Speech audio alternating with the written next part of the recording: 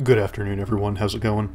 So let's say you're making a scene in the StarCraft 2 editor where you just want some guys standing around. It doesn't matter why, but they need to stand still, otherwise it won't look as good. Well, bad news, because units in StarCraft 2 love to look around, stretch their arms, and change what direction they're facing, all almost entirely at random.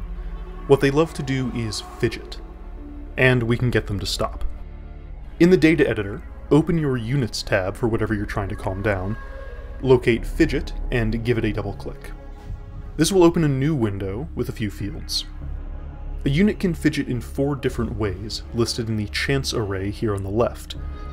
In the value field is a percentage chance that they have to execute that particular fidget, within a time window controlled by the delay max and delay min fields here.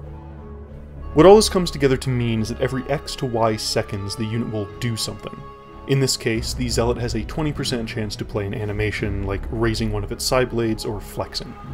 It has a 70% chance to idle, which is just performing a basic little head bob or whatever, and has a 10% chance to turn and face a different direction, the angle and speed of which is controlled by two more fields. Now, importantly, we can see that it also has a 0% chance to move, meaning that it never will. However, if we go look at a neutral critter like this Lyote, we can see that it actually has a 60% chance to move anywhere from 1 to 4 map units. This is what lets them casually wander around maps and get in the way of your base building. But that's the only one that has any real gameplay effects, so feel free to change the others to suit your needs. Okay, turn might matter if you're doing something like the ghosts with vision cones in Novardops, but if you've got those working, you probably know more about this than I do. So there are a lot of potential applications for changing these various values, but if you're just looking to get units to stand still when you expect them to, just drop all the values up here to 0 or set idle to 100, which should accomplish the same thing.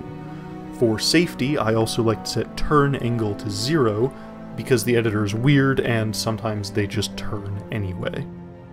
Or, if you did want a more active character, set animation up higher, and suddenly these zealots just love showing off or go crazy and have them move around. This is actually a pretty easy way of getting a crowd shot or something, just lots of random movement you don't need to do anything to plan out. So yeah, fidget values. A small thing, pretty simple, but you can get some good control of your cutscenes with minimal effort. Alright, till next time.